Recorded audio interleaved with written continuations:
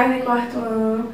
Vamos começar com a nossa oração. Em nome do Pai, do Filho e do Espírito Santo. Amém. Pai nosso que estás nos céus, santificado seja o vosso nome. Venha a nós o vosso reino, seja feita a vossa vontade, assim na terra como nos céus. O pão nosso cada dia nos dai hoje, perdoai as nossas ofensas, assim como nós perdoamos a quem nos tem ofendido. E não deixeis cair em tentação, mas livrai todos os males. Amém. Vamos começar com a nossa chamada, Clara Vitória. Nayara Aline.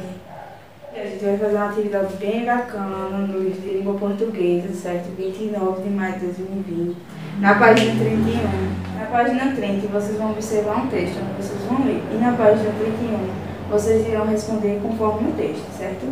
No primeiro, vocês vão o texto que você leu é o que? Ele vai ser um divertido, triste ou dramático.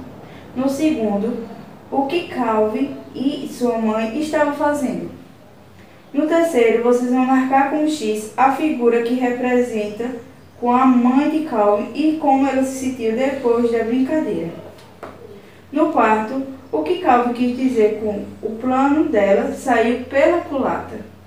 No, no quinto, de acordo com o que Calvin afirma no último quadrinho, qual era o plano dele com a mãe? No sexto, você, você já aconteceu alguma situação dessa com você? Relate sua experiência, uma resposta pessoal. No sétimo também, vai ser uma resposta pessoal sua, onde você vai considerar a situação que reencontramos no dia a dia do, das brincadeiras entre pais ou responsáveis família e por quê. Depois da nossa atividade em língua portuguesa, vamos para o livro de oficina de negócio, tá certo? Na página 12, onde vocês vão encontrar um tema chamado sonhar.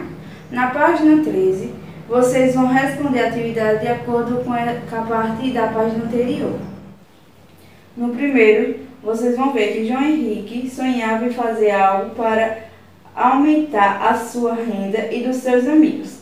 Pescadores, vocês vão marcar o X, o que é importante para ele não desistir dos seus sonhos. No segundo, vocês vão pintar apenas os quadradinhos características fundamentais para alcançar um sonho. E no terceiro, e você? Qual é o seu sonho de hoje? E vocês vão colar aqui abaixo um sonho que você tem. Bom, de acordo com que vocês depois fizeram a atividade, vamos fazer outra atividade na matéria de português, certo? Que a Maisana dá uma folhinha dessa chamada produção de texto. Aqui na produção de texto, vocês vão escrever uma história sobre uma princesa. Vocês vão pensar no texto e escolher os elementos da história, ou seja, cada quadradinho aqui é falando sobre o começo da história, como vocês irão começar, quem vivia a princesa, onde ela vivia, né? Onde era a, como era a princesa e o que queria a princesa, quem ajudou a princesa, o problema da princesa ficou resolvido como? O problema da princesa foi resolvido como? Cada um desses quadradinhos são elementos diferentes, onde vocês vão criar sua própria história.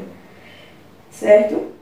Bom, nossa tarde de hoje também foi bastante recheada e chegamos ao final. Espero que todos vocês tenham um ótimo final de semana e espero vocês para a nossa próxima semana. Tá certo? Tchau e fica com Deus.